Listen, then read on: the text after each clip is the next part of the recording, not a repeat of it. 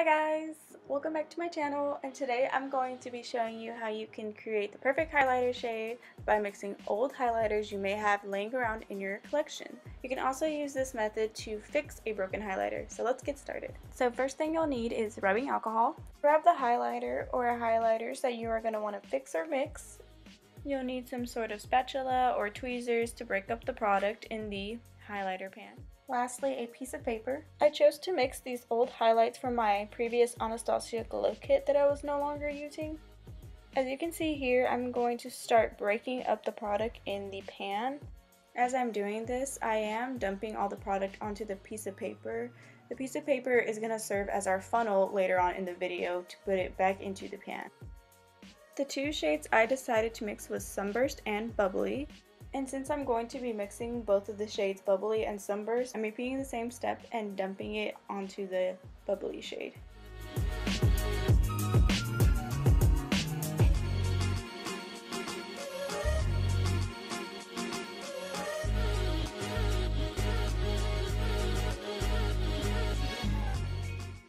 I'm going to be breaking up the product with the tweezers to try to get it as finely milled as I can.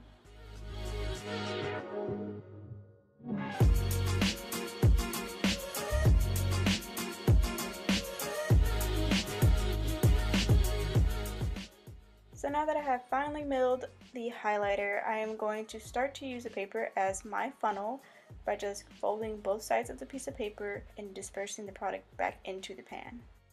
So you want to dump the highlighter in sections, that way you can flatten out the product and then dump more as you go.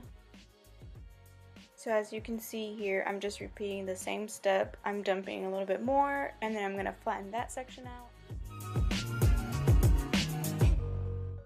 And I will continue doing this until I have used up all the product and gotten at the very top of the pan. So now that you have flattened out the highlight as much as you can, you want to grab your alcohol. I recommend using a high percentage of alcohol, that way the product absorbs it faster and it dries quicker. For this part, I did get a towel because I was dropping alcohol everywhere. So now with the end of my tweezer, I'm just going to smooth out the top of the highlight as much as I can in the pan. Feel free to add more alcohol if you need so in some places like I did right here, I noticed that it was a little bit dry and it was getting harder to smooth out. So you can leave it here and be done, just let it dry, or you can grab a paper towel and flatten out the top of it and then you'll get the texture of the paper towel as you'll see just a minute.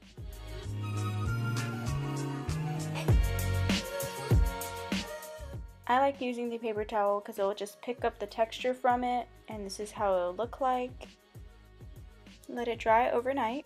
Alright, and this is the finished product. As you can see, it is very pigmented. It is just comparable as the actual glow kit in itself. It does not lose its pigment or anything once you use the alcohol.